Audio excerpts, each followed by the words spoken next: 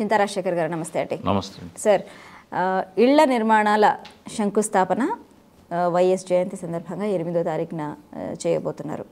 So ఇది ఇళ్ళ పట్టాలు ఇచ్చిన వాళ్ళందరికీ కూడా ఒక్కొక్క ఇంటికి ముగ్గురిని చొప్పున వేసుకున్నా కూడా లక్ష యాభై వేల మంది.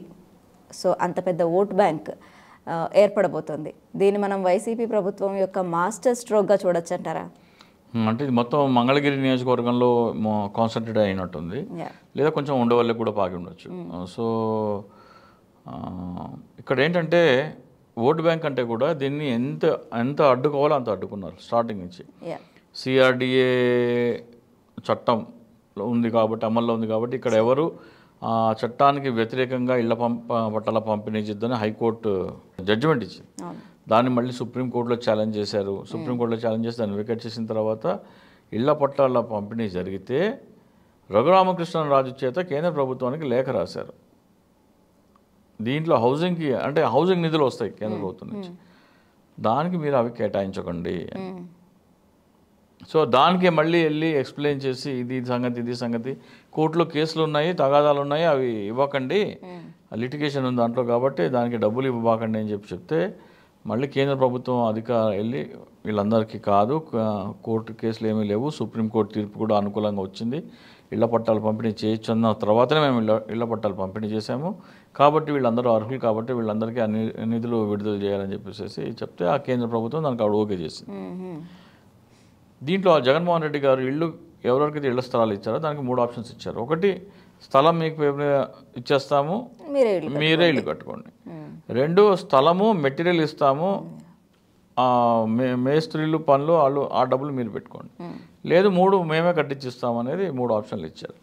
మూడు ఆప్షన్లు ఇస్తే దాంట్లో eighty eight percent nearly eighty nine percent third options కంటే మీరే ఇల్లు కట్టివ్వండి అని చెప్పేసి అడగడం జరిగింది. సో ఆ దిశగానే ఈ కార్యాచరణ ముందుకెళ్తుంది. ఇప్పుడు జరగబోయేది అంటే మీరన్న ఓట్ బ్యాంక్ విషయానికి వస్తే ఒక్కొక్క ఇంటికి మూడు వేసుకుంటే కూడా యాభై వేల ఇళ్ళ కంటే లక్షన్నర ఓట్లు కాకుండా ఎవరైతే ఇల్లు ఇళ్ళ లబ్ధిదారులు ఉన్నారో. వాళ్ళ తల్లిదండ్రులు ఉంటారు. అబ్బాయి తల్లిదండ్రులు ఉంటారు అమ్మాయి తల్లిదండ్రులు. మా కొడుకు ఇల్లు ఇచ్చారని కృతజ్ఞత వాళ్ళకు ఉంటుంది. అలాగే మా అల్లుడికి ఇల్లు ఇచ్చారని అమ్మాయి వాళ్ళకి ఉంటుంది.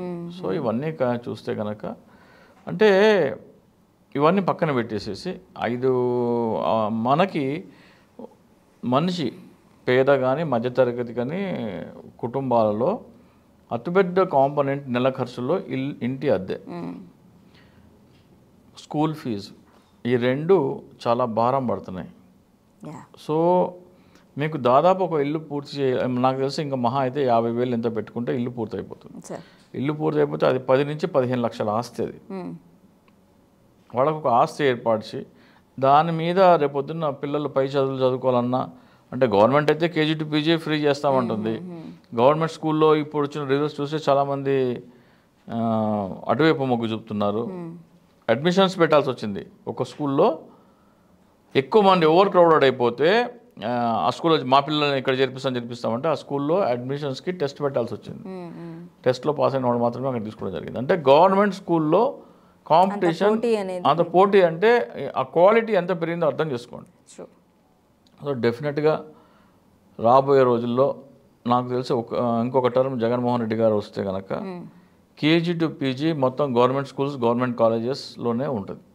సో మనకి అమెరికాలో లేదంటే వేరే దేశాల్లో గవర్నమెంట్ స్కూల్సే ఎక్కువగా ఎడ్యుకేషన్ని ప్రొవైడ్ చేసి క్వాలిటీ ఎడ్యుకేషన్ కూడా. సో మనం ఆ దిశగా అడుగులు వేస్తామంటారు. ఆ దిశగా ఎప్పుడు వేశారు? ఆ మధ్యలో ఏంటంటే రాజకీయ పార్టీలు ప్రైవేట్ స్కూల్ యాజమాన్యాలు కార్పొరేట్ ఎడ్యుకేషన్ ఇన్స్టిట్యూషన్స్ వాళ్ళు రాజకీయాల్లోకి రావడం వల్ల దీంట్లో క్వాలిటీ ఉద్దేశపూర్వకంగా తగ్గించారు. దీంట్లో క్వాలిటీ మీరు ఎప్పుడైతే పెంచుతారో డెఫినెట్గా ఇంటి అద్దె ఇప్పుడు దాదాపు నెలకి ఏడు నుంచి పదివేలు లేకుండా ఒక ఇల్లు రాదు. ఏడు నుంచి పదివేల రూపాయలు ఒక అద్దె మిగిలిపోయింది. పిల్లల చదువుకి ఏటా పది నుంచి పదిహేను వేల స్కూల్ ఫీజు అంటే నెలకు రెండు వేలు. ఇద్దరు పిల్లలు ఉంటే నెలకు రా నాలుగు వేలు. సో ఈ ఏడు వేలు ఇంటి అద్దె తీసుకున్నా కానీ నాలుగు వేలు ఇది తీసుకున్నా కానీ దాదాపు పదివేలు నెల నెల ప్రతి కుటుంబానికి సేవ్ అవుతుంది. సేవ్ అవుతుంటే ఈ డబ్బులు ఎక్కడ పెడతారు ఆయన? స్టాండర్డ్ ఆఫ్ లివింగ్ పెంచుకుంటారు. స్టాండర్డ్ ఆఫ్ లివింగ్ పెంచుకుంటే మరిన్ని వసతులు ఉన్న జీవన ప్రమాణాలు పెరుగుతాయి. సో వాళ్ళ పిల్లలు వాళ్ళ ఆలోచన దృక్కోణం వాళ్ళ నాలెడ్జ్ పెరుగుతుంది.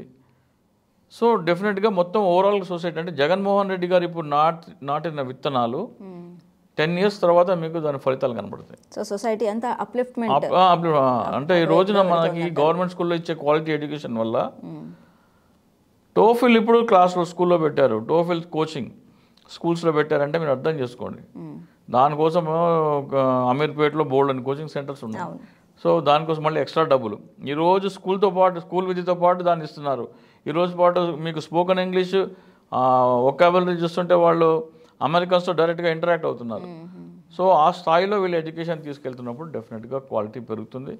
నిజంగా విమర్శించాలనుకునే వాళ్ళు విమర్శించవచ్చు నిన్న లోకేష్ నారా లోకేష్ ఒక అమ్మాయితో స్కూల్ విద్యార్థినితో పాఠశాలలో దీంట్లో వెళ్తున్నారు.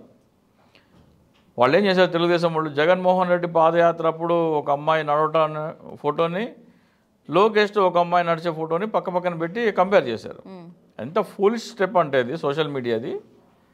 జగన్మోహన్ రెడ్డితో పాటు నడిచే పిల్లకి కాళ్ళకి చెప్పులు ఉన్నాయి జగన్మోహన్ రెడ్డి అండ్ స్టూడెంట్ ఆ పా- ఆయన పాదయాత్రలో రోడ్డు బాగలేదు. ఇక్కడ వేసేటప్పటికల్లా కొత్త నిగనిగ నాడుతున్న రోడ్డు ఉంది ఆ పాప వేసుకున్న షూలో నీడ కనబడుతోంది. ఓకే. గవర్నమెంట్ ఇచ్చిన షూసే కదా అవి. గవర్నమెంట్ ఇచ్చిన యూనిఫామ్ గవర్నమెంట్ ఇచ్చిన షూస్ ఆ ఆ పాపలో కాన్ఫిడెన్స్ కనబడుతుంది. ఆ పాపకి ఈ పాపకి కంపేర్ చేసుకుంటే నారా లోకేష్ పక్కన నడుస్తుంది నడుస్తున్నప్పటికీ ఈ పాపలో కాన్ఫిడెన్స్ కనబడుతుంది ఫేస్లో. So that is the difference what Jaganmohan Reddy has given to children. జనరల్గా రాజకీయ నాయకుడు పక్కన నడవాలంటే బెరుకు బెరుకుగా ఉంటారు. కానీ లోకేష్ పక్కన చేపట్టుకుని నడుస్తున్న అమ్మాయి ఆ మొ- అమ్మాయి మొహంలో కాన్ఫిడెన్స్ కానీ ఆ అమ్మాయి ఎప్పుడు కాన్ఫిడెన్స్ వస్తుంది మీకు? When you are well dressed dressing also gives you confidence so when you are well dressed well educated and మీరు ఇంగ్లీష్ కూడా మాట్లాడుతున్నారు. విదేశాల్లో వాళ్ళతో ఇంగ్లీష్ మాట్లాడుతుంటే మీ కాన్ఫిడెన్స్ లెవెల్స్ పెరుగుతాయి. So that we can clearly see in this picture so Nara Lokesh ఏంటంటే తనని తాను స్టూపిడ్ అని చేసుకున్నాను. మా పాలనలో అలా ఉండేది. జగన్మోహన్ రెడ్డి పాలనలో ఇలా ఉంది అనేది వాళ్ళు వాళ్ళే బెరీజ్ చేసుకుని ప్రజలకు చెప్తున్నారు. Please display that picture okay. Sir ఇప్పుడు ఈ ఇళ్ళ కమ్యూనిటీ ఇంత ఇన్ని ఇళ్ళు నిర్మించడం ద్వారా ఒక పెద్ద కమ్యూనిటీ డెవలప్ చేస్తున్నాం.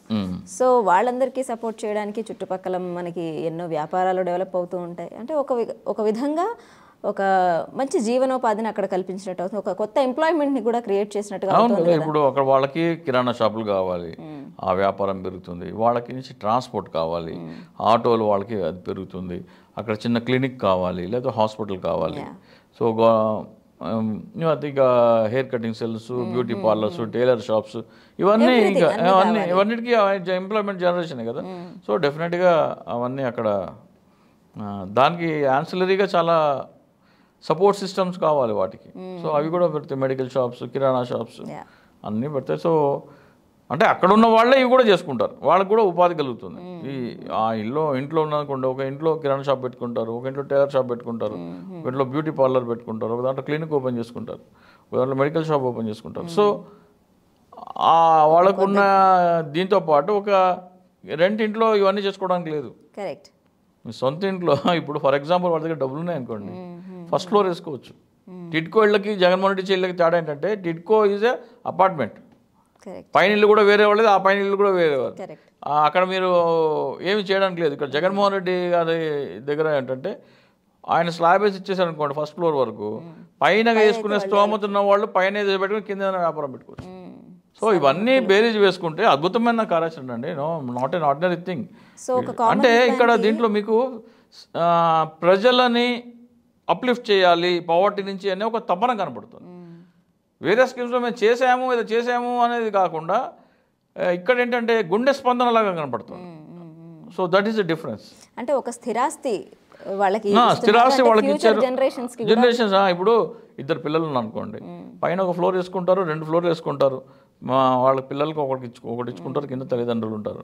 ఎలా అయినా సరే అంటే మీరు సొంత ఇల్లు అంటే that is totally different apartment is different correct site is different. Site ఎందుకు ఇచ్చారంటే రాబోయే రోజుల్లో పైన వేసుకోవడానికి కానీ లేకపోతే ఏ ఎనీవే దాన్ని ఎలా అయినా వాడుకోవచ్చు వాళ్ళ దగ్గర డబ్బులు వచ్చినాయి అనుకోండి చిన్నపాటి అబ్బాయి అత్తగారు మామగారు తల్లిదండ్రులు తలా లక్ష ఏమైనా ఇవ్వగలిగారు అనుకోండి పైన ఇంకో ఫ్లోర్ వేసుకుంటే కింద ఏదైనా వ్యాపారం పెట్టుకుంటారు. స్మాల్ స్కేల్ ఇండస్ట్రీ ఇస్తరాకులు తయారు చేసేదో లేకపోతే రకరకాల స్మాల్ స్కేల్ చిన్న పెట్టుకుంటారు. సో అలా కూడా ఉపయోగపడుతుంది. సో ఈ మోడల్ మనకి ఖచ్చితంగా ఒక ఎగ్జాంపుల్గా ఉండబోతుంది. కాదండి ఇది కేసు ప్రపంచంలోనే రాజకీయ నాయకులందరికీ కనువిప్పు కలిగించే ఒక పథకం ఇది. పేదరికాన్ని నుంచి మీరు అప్లిఫ్ట్ చేయాలంటే ప్రజలని ఇలా చేయవచ్చు అని చెప్తున్నారు జగన్మోహన్ రెడ్డి గారు. సో ఇది కేవలం మన రాష్ట్రంలోనే కాకుండా పక్క రాష్ట్రాల వాళ్ళందరికీ కూడా ఒక ఎగ్జాంపుల్గా రాష్ట్రం ఆఫ్రికా దేశాల్లో కూడా ఇంప్లిమెంట్ చేయాల్సిన పథకం ఇది. ఓకే. ప్రజల్లో నాయకుల్లో డెడికేషన్ ఉంటే పేదరికాన్ని నుంచి ప్రజలని సులువుగా ఎలా అప్లిఫ్ట్ చేయాలి అంటే మనిషికి కావాల్సింది ఏంటి? కూడు గుడ్డ నీరు. మీకు చౌకధర దీంట్లో ఫుడ్ వస్తుంది. నీడ మెయిన్. నెలకి ఏడు నుంచి పదివేల దాకా మీరు రెంట్ కడుతున్నారు. అది మీకు ఇప్పుడు కలిసి వస్తుంది ప్లస్ మీకు ఎడ్యుకేషన్ ఫ్రీ అయిపోయిందంటే దాంట్లో నా ఐదు వేలు వస్తున్నాయి. దాంట్లో మళ్ళీ ఆటో ఛార్జీలని ప్రైవేట్ స్కూల్స్ అయితే ఆటో ఛార్జీలని స్కూల్ యూనిఫామ్ అని పుస్తకాలని ఇవన్నీ ఇవన్నీ మీరు లెక్కేసుకుంటే జగన్మోహన్ రెడ్డి